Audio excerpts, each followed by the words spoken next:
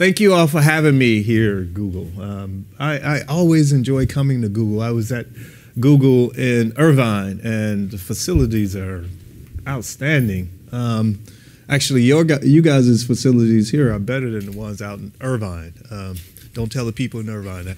Uh, I really enjoyed my time there. Um, so today, what I like to do is talk today about uh, my new book called High Price, uh, a neuroscientist's journey of self-discovery that challenges everything that you know about drugs and society. Um, since we have a number of young people in the audience, I, I, suspect that there will be some things that you do know about drugs, right? At least I hope. Um, so when I do, when I when I think about doing these book talks, it's a difficult thing to do to encapsulate a talk, in, a whole book in a, in a, in a short talk. I'll talk about uh, 20 minutes or so, maybe half an hour, and then I'll open it up for questioning. So trying to encapsulate a whole book in, in, in that period of time, it, it's difficult. So what I like to do is to break it up in three parts. The, the book is a hybrid. It is part memoir, part big idea science book and part policy book. And so the reason why I did the memoir, this I told a, a deeply personal story. Um, and it causes me a great deal of anxiety to share with so many personal details about my life. But one of the reasons that I did that was so that people who came or who come from where I come from so they could have someone to identify with partly. And I also told this deeply personal story because I know that when we read books about drugs and policy, only 10 people read them or so because they're boring. Um, and I get it. Me too, I'm bored. Um, but if you tell a story with some personal details, some anecdotes, folks are more likely to engage and, and read the story. But there's a problem with anecdotes and uh, personal information. You can sometimes learn something from it, learn by example. That's a good thing. But the problem is you sometimes inappropriately apply those anecdotes to more general situations, and you make the mistake of taking an anecdote that's not representative. And so that's why I included the science to bolster, to support the anecdote. And then when you do this, you come to some decisions that need to be made. You have learned something. I learned something in the process. And when you learn something, you want to make suggestions, policy. You want to tell people what we should do. Um, with that said, I just like to talk a little bit about the personal stuff. Now, um, people oftentimes ask me, how did you go from the hood, a neighborhood entrenched with poverty and all the problems that come with it. How do you go from point A, that being point A, to point B, to where you are the first African American tenured professor in the sciences at Columbia? How do you do that? How does someone do that? Well, one of the major forces that helped me to do that, major contributing factors, was I was deeply involved in sports when I was in high school. I played basketball throughout high school, and this allowed me to stay plugged in to the society, into school. It ensured that I would go to school because if I wanted to be on the, bas- the school's basketball team, I had to actually go to school, right? Uh, it also required that I maintained at least a 2.0 grade point average. It's not as high as what they would make you maintain here at Google, but it was enough to make sure that I at least graduated, right? Um, so that kept me plugged in. It ensured that I graduated. Another factor was that I had five sisters who were older than I am and a grandmother who did their best to keep me on the straight and narrow path as they could. I wasn't always on the straight and narrow path, of course, because I engaged in petty crimes, sold a little drugs, did some drugs, those sorts of things. But I knew I couldn't get too far off the path because I would disappoint my sisters and I would disappoint my grandmother. And then I may also have gotten kicked off the basketball team. So I had to keep things in the check. I had to be in control to a certain extent. Another thing that was important in my story was that there were programs when I was growing up. There was a program called Aid to Families with Dependent Children, AFDC. Uh, some of you all might know that as, uh, well, we once knew it as welfare. That changed in 1996. The Clinton administration changed that. Uh, there was also another program in which people like me, young people like me who were from these poor backgrounds, there were summer programs or summer jobs where we worked folks who were 14 years old and older could get jobs. Um, the government supported these programs. It kept us off the streets. It put pocket change in our, in our pockets. Um, those programs are no longer there. But those programs were critical in helping me move along. Well, I didn't get the basketball scholarship that I thought I was going to get. So instead, I had a guidance counselor who also looked after me. She encouraged me to talk to military recruiters. She actually uh, knew how to motivate me, know how to motivate me. So she simply said, if you talk to these recruiters on this particular day, on these particular days, I'll let you out of class. And at work, she knew what she was doing. Um, I talked to various recruiters and decided to go into the Air Force. Uh, the Air Force, my time in the Air Force was all spent overseas. Uh, most of my time was spent in England, about three years in England. While in England, something happened, something really, uh, something that's critical to my developing critical thinking skills. Uh, when I was in England, I started to go to college where I really intensified my, my college because in the Air Force, uh, there are college campuses or college courses that are offered on base. While in England, I noticed that the British were, they didn't have the same reservations about critiquing American society, particularly as it relates to race. Um, they were quite comfortable um, showing documentary films about our racial history. I mean, these are things that I already knew from being in the United States, at least I thought I knew. But I never had sort of uh, official approval or, or I never had uh, my sort of beliefs corroborated by an official sort of government. Um, and so in England, I got really interested in the American civil rights story. And um, in school. I learned quite a bit about it. And it just inspired me to continue my education even further. So I began my education really in England, and I, I continued it once I got out of the Air Force. Uh, and I had mentors after I got out of the Air Force and throughout the Air Force who encouraged me to go on to get a PhD. And these mentors, without these mentors, uh, I don't think I would have been able to uh, continue on uh, to get a PhD. So that's the sort of personal story. I tell that story in part because I want people to know that I'm not special. Those components that were in my environment that helped me move along, we certainly can do this for other people if we wanted to as a society. But the society has decided that certain groups of people are not so important, so we won't put those, we won't ensure that they have those type of components. Um, so I'm not special. This is not a up from slavery story. That's not the story here. Uh, it's a it's a logical, rational story that could happen to most people if we put these things in their environment. Okay, shifting gears to the science.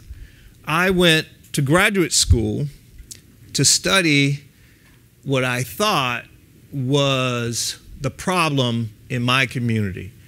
I had been told that drugs was destroying the black community. This is what I learned.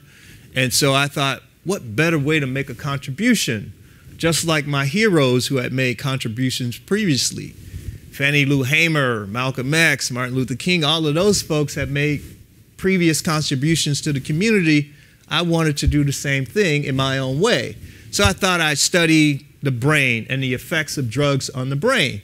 I thought that drugs were destroying the community. I'll find out from a biological perspective what's going on. And once I figure that out, I could help save the community. So I went to graduate school, started studying drugs, uh, the effects of drugs um, uh, on the brains of rats. Uh, drugs like uh, morphine, nicotine, cocaine, trying to understand what was happening.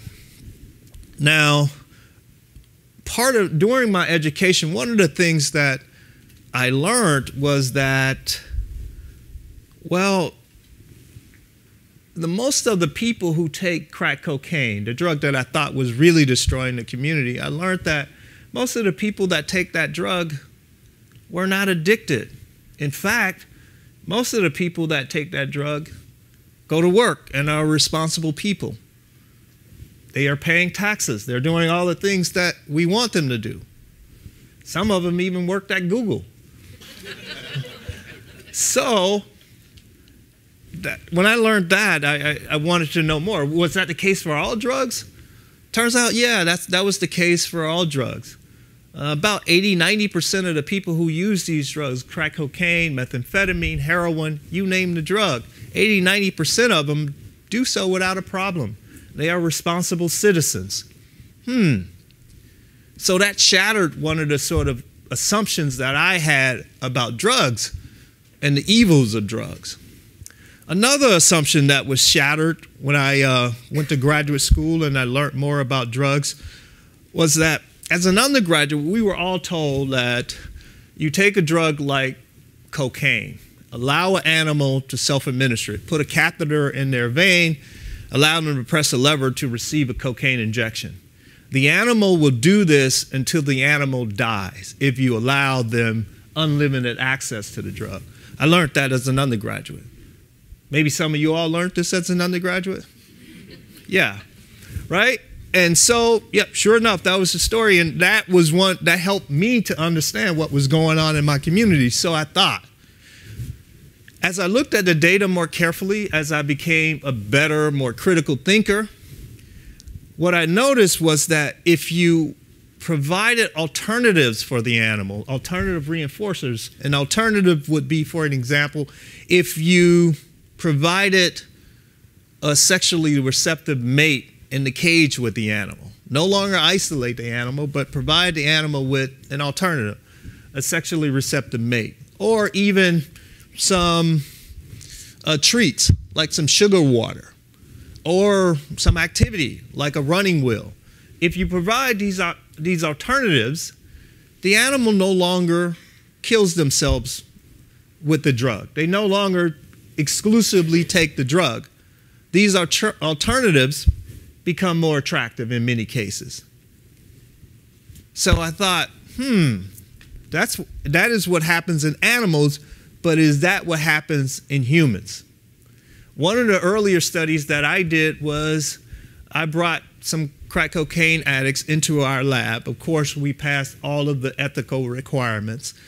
Brought some um, research participants who were crack cocaine addicts into the lab, allowed them to self administer, choose to take the drug if they want. But in this case, we also provided alternatives.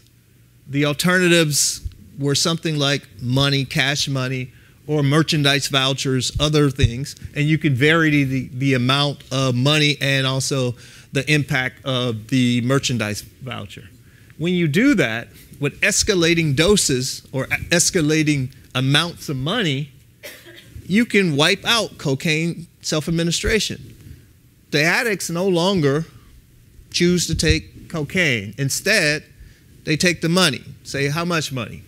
Well, if you provide the addict with a dollar as an alternative, they will probably take a nice dose of cocaine. Well, any rational person probably should do that. Uh, if they have experience with cocaine, of course. And for people at home, this is not to encourage people to take cocaine. That's not the goal. but if you provide the person with $5 as the alternative, now they will choose the drug on about half of the occasions and the money on about half of the occasion. And you can completely wipe out self administration of the drug if you provide $20 as the alternative. All of this is rational. And that's precisely how people who use drugs, people who are addicted to drugs, behave rational behavior. So now, that myth was shattered for me. I, know, I no longer thought that cocaine addicts or any other addicts are motivated solely by another hit of the drug. The science, the evidence just simply doesn't support that. So, another sort of more recent myth that I discovered had no foundations in evidence is this notion that these drugs cause these cognitive impairments in people, in the users. So, one of the drugs that I now study is methamphetamine.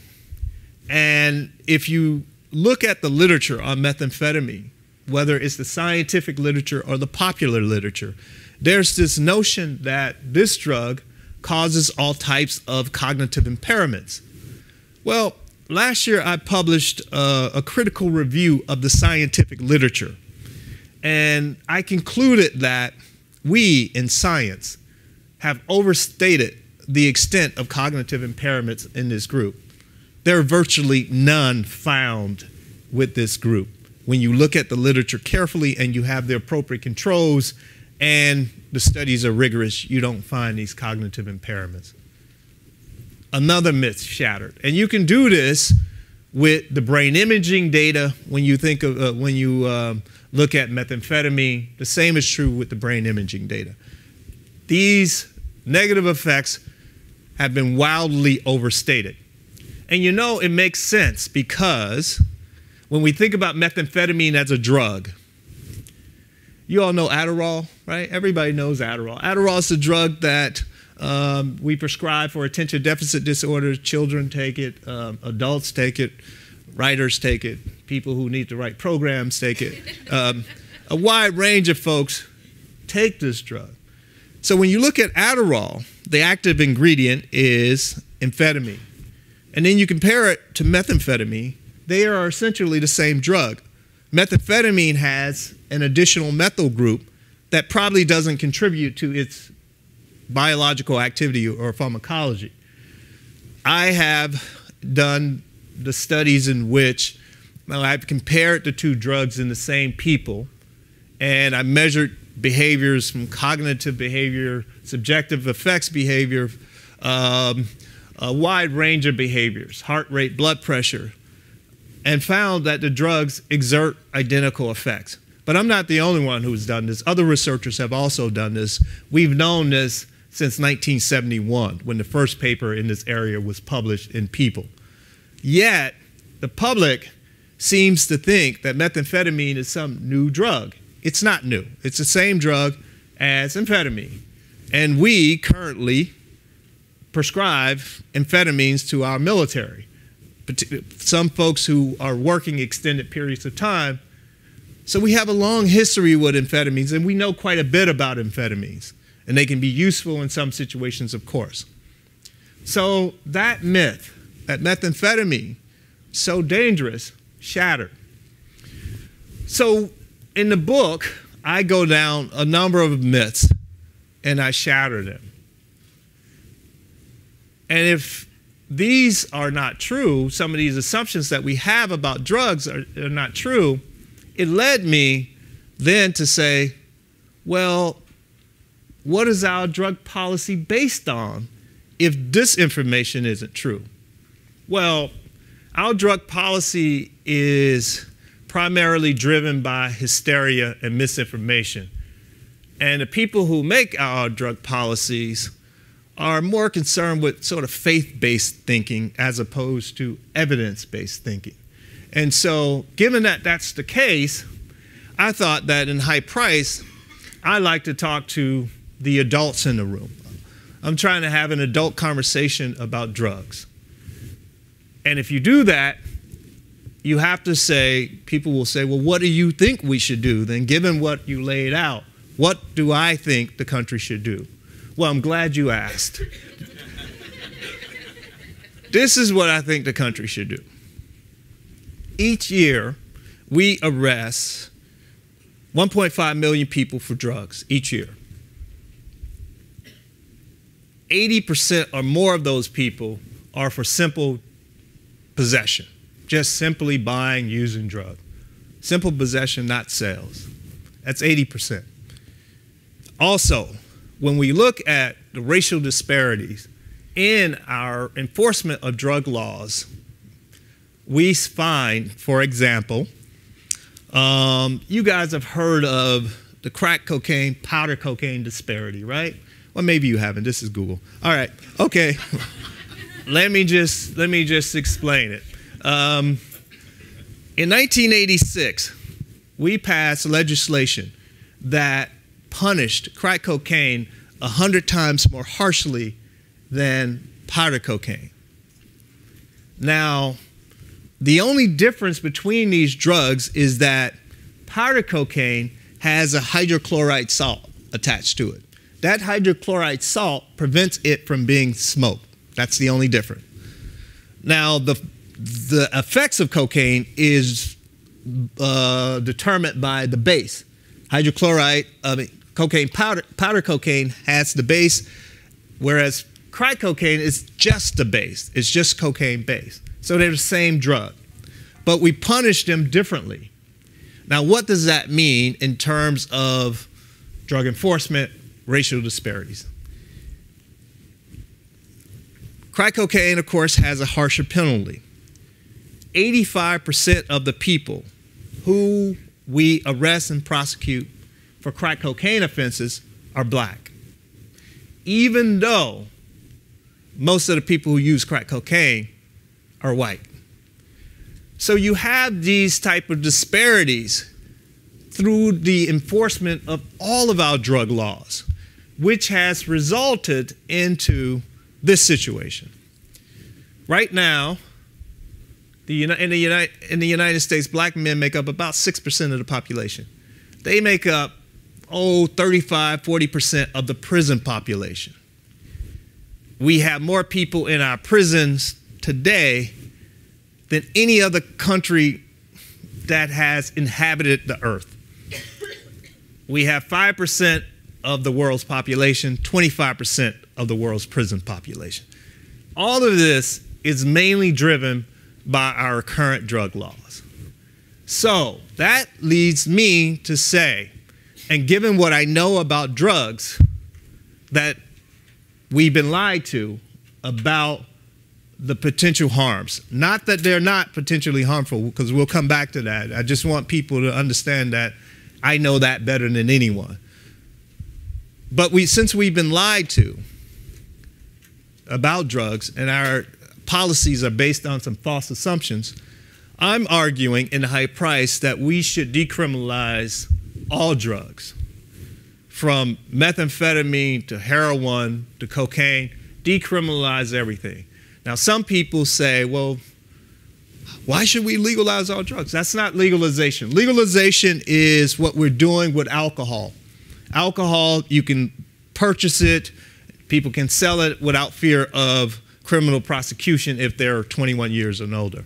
Decriminalization, sales of these drugs remain illegal and you can still be criminally prosecuted.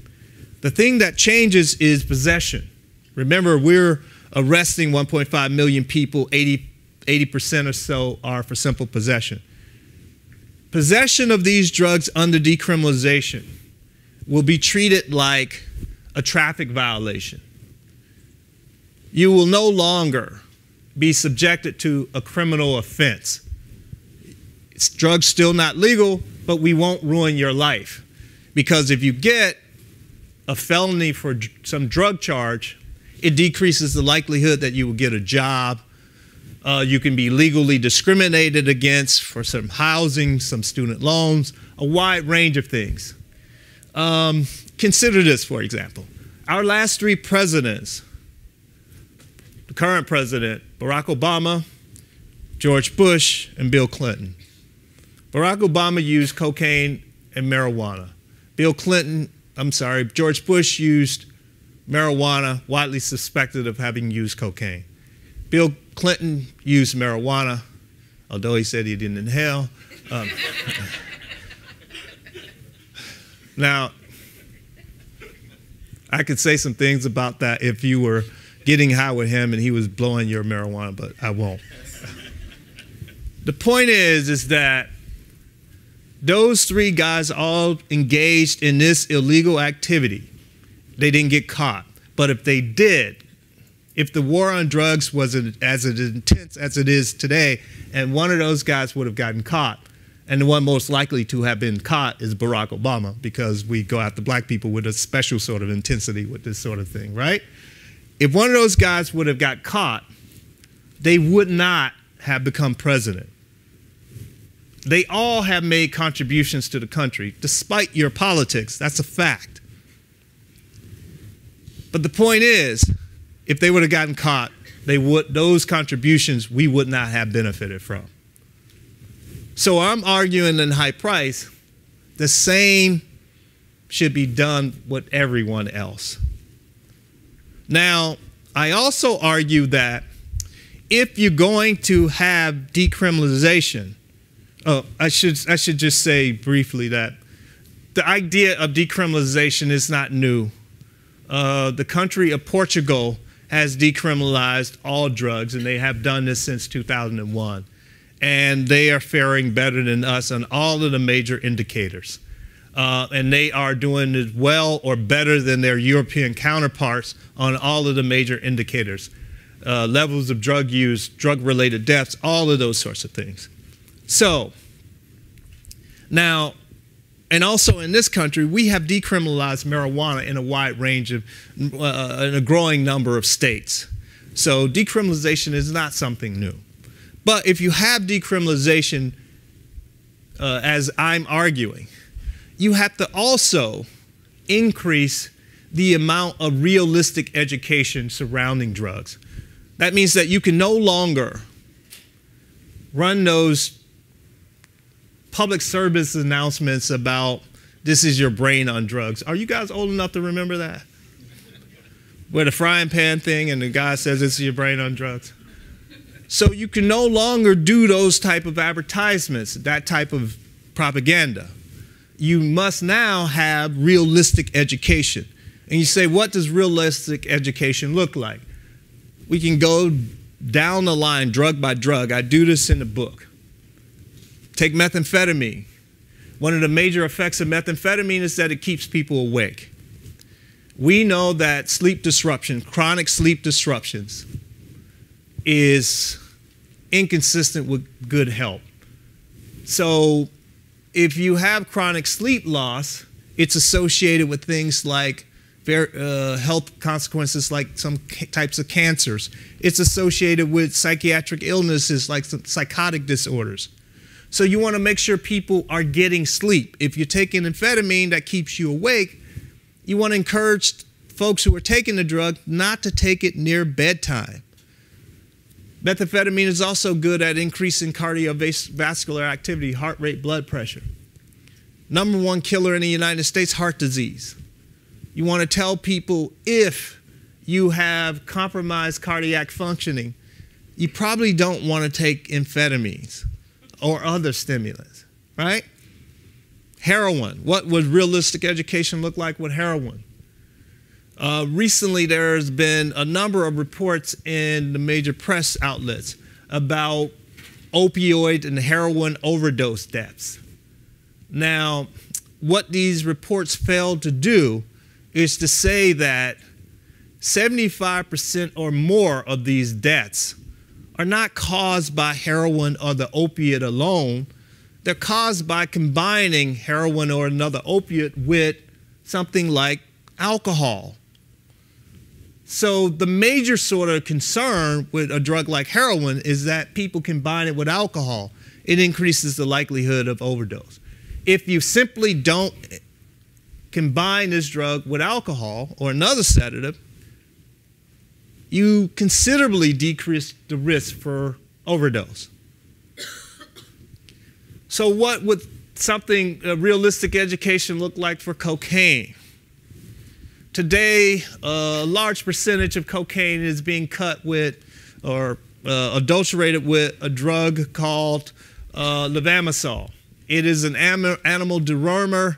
Um, one of its side effects is that it decreases white blood cell, decreases the person's ability to respond to infections, and in uh, extreme cases, people can die.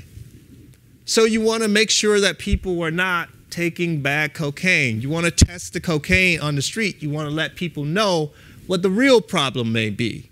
The real problem may be this adulterant, this cut product. So we can go on and on about what realistic education would look like.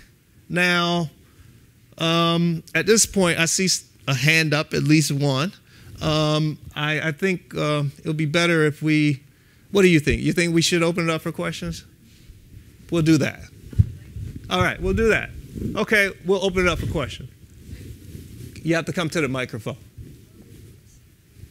So now we have to wait for you. You just interrupted me, and now we have to wait for you. I had no idea. Um, so I was wondering, like, for example, when you say if you want to test for cocaine, I think probably decriminalization would not just do it. Like, you probably would have to legalize it. So I'm wondering why are you stopping at that? Why don't you? Is it just a mini step to get people to finally legalize it? Thank you. Um, the question was why are why am I why am I not advocating for legalizing drugs? Great question. Thank you. Um, one of the things that I am concerned that might happen. So as you legalize drugs, and then you have opponents to legalizing drugs, they will be waiting for any event to say that this is the negative effects of legalizing drugs. Now, what I'm arguing is that we inoculate the population from such hysteria and misinformation by providing more appropriate education about what drugs actually do and what drugs don't do. So if you have a more literate, drug literate society, you can no longer make these exaggerated claims about a drug. Think about marijuana. In the 1930s, we said that marijuana um, caused people to go out and murder their, their mothers. Uh, we did, and we and people believed it. Uh, we said that it was the uh, Harry Anslinger, he was the uh, commissioner of the Federal Bureau of Narcotics. He said that it was the most dangerous drug known to mankind, and we as a society believed it. Now, if you say that today, people will look at you like you're crazy, right? And rightfully so. Be and one of the reasons that they would, because we have increased amount of information about marijuana today, in part because it is now, marijuana is the most widely used illicit drug in the world. And so it's harder to fool people with this information because of their own education, because of better education about marijuana. But certainly, if we take a drug like bath salts, if you make these exaggerated claims about bath salts, far more people in this society are more likely to believe it, even though it's an exaggeration and it's not true. And you see this today with bath salts. People are saying these kinds of things. Other questions? Um, hi, hi, good talk. Do you think that the uh, like the politicians that were initially promoting the war on drugs were they influenced by the bad science, or did they have other reasons for pushing this on the population? So, do I think that the politicians were motivated by bad science? One thing I want to make clear is that science is simply a methodology, and most of it is not bad. It's the interpretations from science. If you look at the data, the data don't lie. Um, the politicians I believe were more motivated by this fact. As a politician, you have constituents. They have problems, and they expect you to help solve them. Drugs are excellent scapegoats. So if you have communities that have high murder rates, I don't know, for whatever reason, you have an increased amount of males uh, at a certain age, at a certain time, that certainly is a reason for higher murder rates. Um, you have uh, unemployment, people not working, um, a lot of idle time. All of these sort of things contribute to the murder rate. But if you can say it's because of crack cocaine, all you have to do now as a politician is to go after crack cocaine, remove the crack cocaine, or show the people that you're putting a lots of money into law enforcement efforts in removing cocaine. And they think, oh yeah, uh, Representative Johnson, he's he's our man. He's doing our he's doing what we want him to do. Even though crack cocaine has little to do with the murder rate, little to do with the fact that people are unemployed, but it's an easy sort of scapegoat. Yes. Uh, hi. Um, so, admittedly, I don't have very much firsthand experience with, um, you know, people using hard drugs, but um, you say that like you're embarrassed. Well, uh. no, I say that as I guess uh, um, a qualifier to my question, um, which is I guess a lot of the things you said were I found pretty surprising, um, like you know if you offer um, a crack cocaine addict five dollars, um, it's a coin flip as to whether he'll take the money or the drugs. how does that square with the sort of popular media image of um, you know, like junkies stealing from their mothers or their grandmothers to fund their drug habit? Yeah, thank you for that question. Um, certainly, you have people who use drugs and they engage in those bad behaviors that you just said. Like they will, there are certain people who will rob somebody to support their drug habit. That's that's we certainly can show that. Now, what people don't do or what they fail to do is go deeper. So it's like, well, was this person robbing people before they used cocaine or whatever drug they're using? Probably so, yeah. Um, and then when you look at the majority of people who use cocaine, are they engaged in that behavior? Not no, but hell no. So when you start to look at the, the a more comprehensive, when you have a more comprehensive look at the data, those stories don't hold up but those stories make great films. They are great for documentary filmmakers who we think of as being more thoughtful. Uh, they are great for uh, reporters. Um, they are uh, they're just great stories, even though they're more fictitious or they're less representative of the broader picture. So it's a hard sort of image to get out of the American conscious, but they simply are aberrations Thank you. Hi. Um, Hi. Some of the other advocates of more sensible drug policy, like your colleague Professor David Nutt in the UK, um, they um, very uh, often compare the harms of illegal drugs with legal drugs like alcohol and tobacco and caffeine and even horse riding. Uh, and that is very controversial in the UK, but I think it's a, uh, I know, I think it highlights um, the fact that these things are comparable, but only in a very niche scientific community. And the public doesn't really like to compare their horse riding with their ecstasy. Uh, what do you? Well, because they call they call no, the drug I ecstasy. I hear you. So yeah, he wrote a paper about yeah comparing equasy with ecstasy. So what do you think about? Do you think it, the comparison can lead to more sensible drug policies, or does it hinder? Well, I'll, I'll stick with the comparison between the prescription drugs or the legal drugs and the illegal drugs because, like my man here, I don't have much experience with horse riding. Um, so,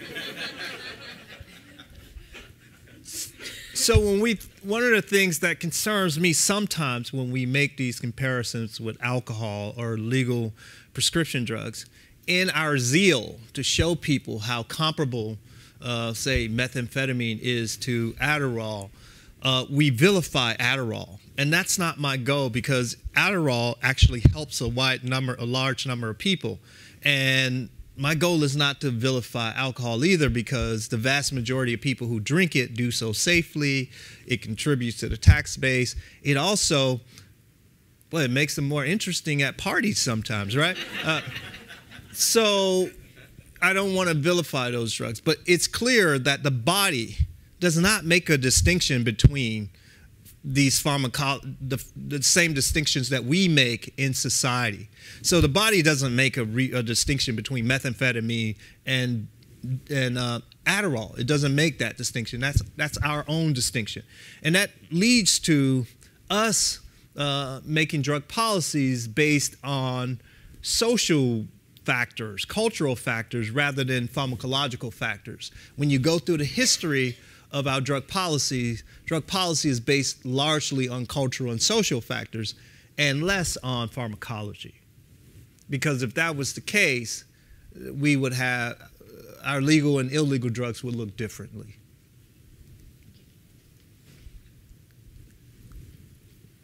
Um, so I really enjoyed your talk. Thanks for coming. Thank um, you.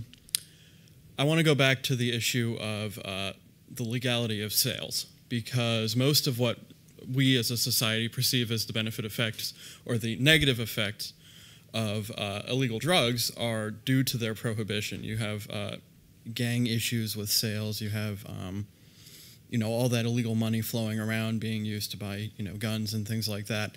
Um, and it seems to me like while obviously the arresting and throwing in jail of a huge percentage of the population for simple possession is a worse evil than uh, you know all this gang violence. It seems like it's a very close second, and that getting rid of a lot of the ne- the perceived negative effects of drugs in communities like New York, which has a, a history of having an issue with crack, um, could be a, a, huge step in um, trying to change the perception about drugs. Is because when there's less violence or less theft around uh, drugs, you, you would you would seem to have a an increased understanding of how it's it's not necessarily as big a problem. Uh, is there a question? I'm sorry.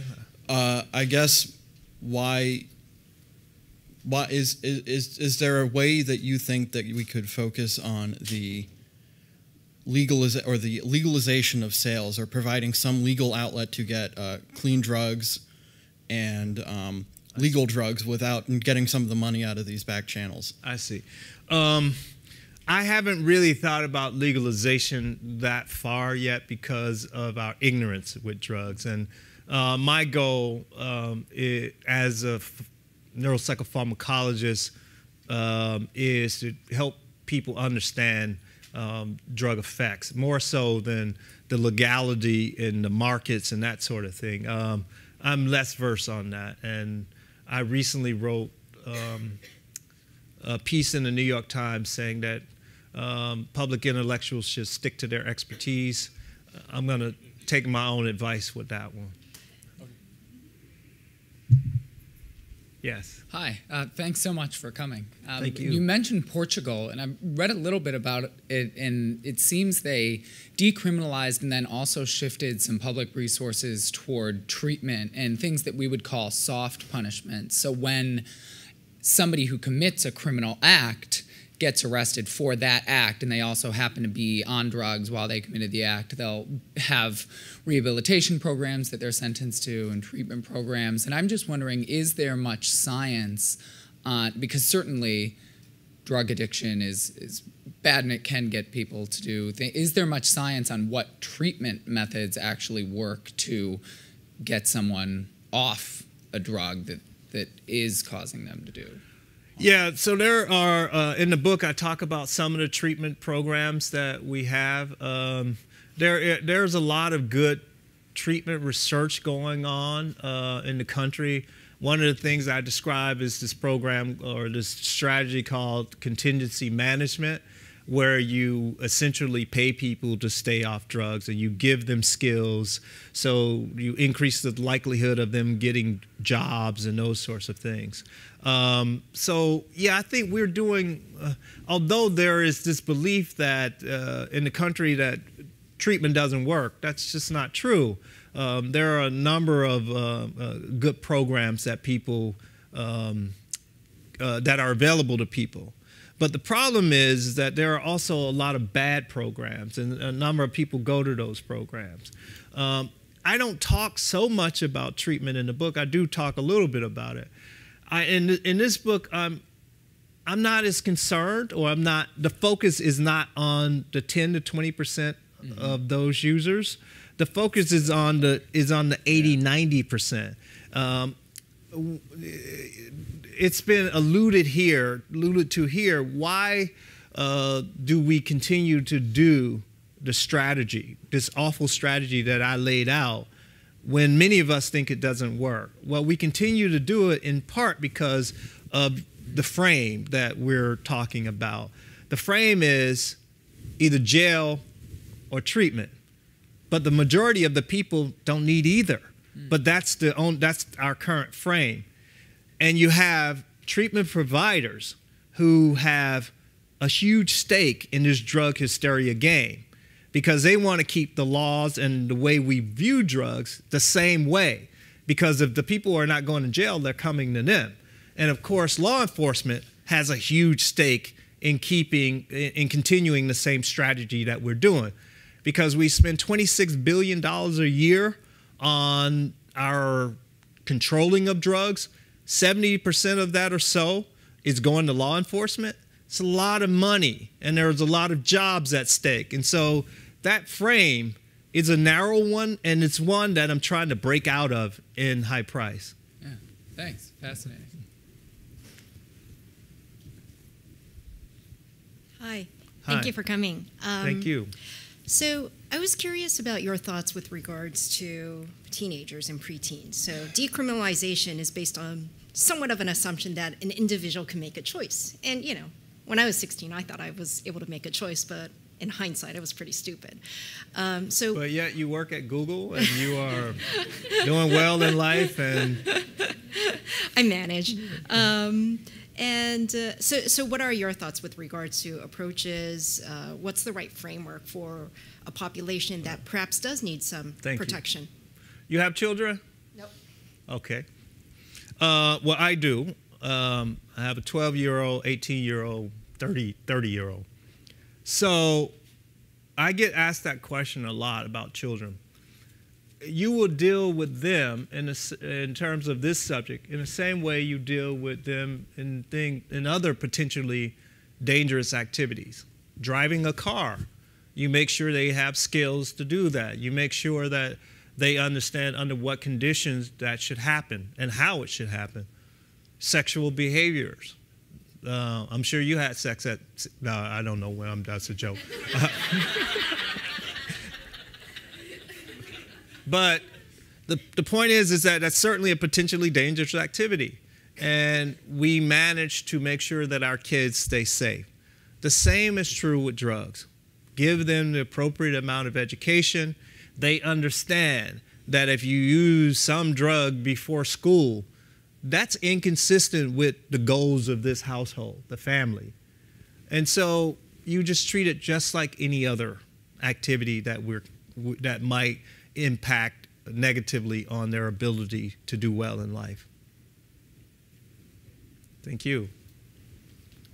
Okay, so I have a, a non-drug question here. You mentioned in the first section of your talk while you were in England um, that it, you were able to sort of ground your knowledge of American history there um, for people who do not have the opportunity to leave the country, um, especially when they're younger, um, is it possible to get that kind of grounding in history now? Is it easier or harder now? And what sort of outlets are you aware of, if any, for eh, people to pursue?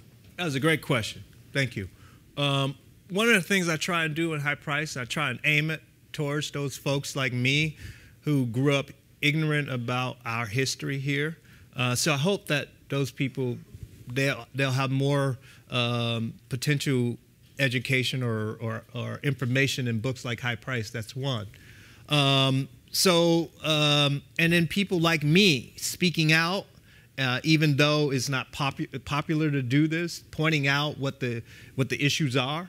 Um, but you asked the question: Is it more difficult today or easier today than when I was coming up. I think it's more difficult for young, ignorant people in the situation where I was in when I was younger, in part because they're told that we have a black president and things are improved. But yet, um, rarely do we hear anything coming from uh, the official administration about problems related to race in the country. And so um, there was a time when Ronald Reagan was president, when I was coming up, for example, we were happy to criticize him, particularly about all the things that he was not doing for the community. Folks who were community who are community protectors now are a lot more reluctant to do those sorts of things. So I think young, ignorant people in those situations, I think they have it more difficult now.